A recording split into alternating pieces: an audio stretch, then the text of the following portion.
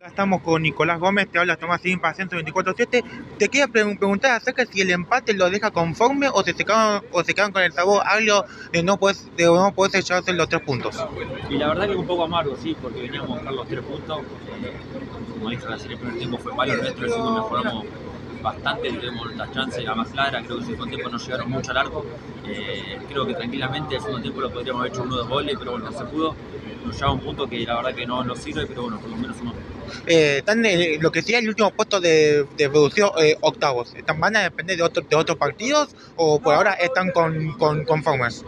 Y ahora creo que falta que juegue Maipú, me parece, creo que quedamos octavo, creo que si, no, si, gana creo que nos pasa, pero bueno, eh, nosotros nos fijamos nosotros, ahora en el partido que viene y, y ojalá que, que- que el partido que viene, que es un partido muy difícil, podamos ganar de local.